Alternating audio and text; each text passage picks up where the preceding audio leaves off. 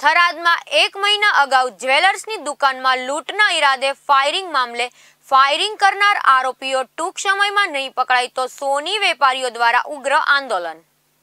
થરાદમાં એક મહિના અગાઉ જ્વેલર્સની દુકાનમાં લૂંટના ઈરાદે ફાયરિંગનો મામલો ફાયરિંગ કરનાર આરોપીને પોલીસે ન પકડતા સોની વેપારીઓમાં ભયનો માહોલ. બોડી સંખ્યામાં સોની વેપારીઓ દ્વારા કાળી પટ્ટી ધારણ કરી સૂત્રોચ્ચાર સાથે બેનર લઈ બાઇક રેલી કાઢી નાયબ કલેક્ટરને આવેદનપત્ર આપ્યું. સોની બજારમાં પોલીસ ચોકી અને સાંજના સમયે પોલીસ હથિયાર સાથે સુરક્ષા આપવાની માંગ કરી. સીસીટીવી કેમેરા થરાદની બજારમાં લગાવવાની માંગ કરી. અમારી માંગણીઓ અને ફાયરિંગ કરનાર આરોપીઓને ટૂંકમાં સમયમાં નહીં પકડ અગિયારના દિવસે જે લૂંટ સાથે ફાયરિંગની ગુજારી ઘટના બનેલી, તે ઘટનાના આરોપીઓ આજ સુધી પકડાયેલ નથી. અને જે તે સમયે અમે આવેદનપત્ર આપેલું કે અમારા થરાદમાં સીસીટીવી કેમેરા ગોઠવાય બૈન બજારમાં લૂંટના આરોપીઓ પકડાય અને થરાદ તળાવની પાળે એક નવીન પોલીસ ચોકીનું કાયમી નવનિર્માણ થાય. આવી માગણીઓ અમે કરેલી. સાંજે છથી આઠ પોલીસ હથિયારી પેટ્રોલિંગ મળે.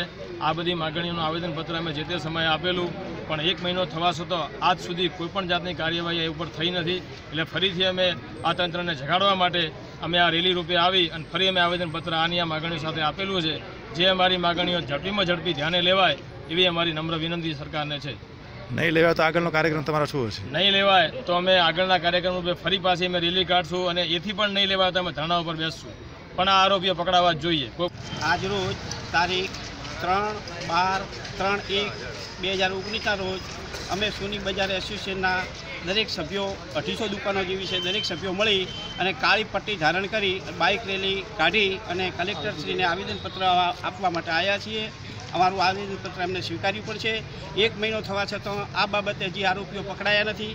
સીસી કેમેરામાં ચોખ્ખા દેખાય છે અને જે પકડવા તો બહુ સરળ છે. પણ હજી સુધી આ એક મહિના થવા છતાં પણ હજી કોઈ પણ કાર્યવાહી થઈ નથી એનું અમને બહુ દુઃખ છે. હવે આગામી સમયમાં જો આ આરોપીઓ નહીં પકડાય તો ગામે ગામ અમે આવી રીતે રેલી ગુજરાત લેવલે ગાડી અને આનું જલદ આંદોલન કરશું. સરકારશ્રી આ બાબતે ઘટતું અથાયોગ્ય કરે એ અમારા માટે ખૂબ સારું છે. અમારા ટોંડાના પાળ પાસે જવાના રસ્તા એટલા ખરાબ છે કે લોકો ગમે અહીંયાથી આવી અને અહીંયાથી નાસી જવાની પૂરી તૈયારી છે. ત્યાં પોલીસ ચોકી અમને કાયમી એક પોલીસનું હથિયારધારી પોલીસની વ્યવસ્થા કરી આપે એ ઈચ્છનીય છે. ઉગ્ર આંદોલન કરીશું તેવી ચીમકી ઉચ્ચારી હતી. દાનસિંહ રાજપૂત સાથે કેટીવી ન્યૂઝ ગુજરાતી થરાદ.